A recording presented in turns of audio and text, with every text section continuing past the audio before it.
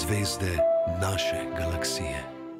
Pršut 1,49 evra, sladoled 2,39 evra, detergent za posodo 69 centov.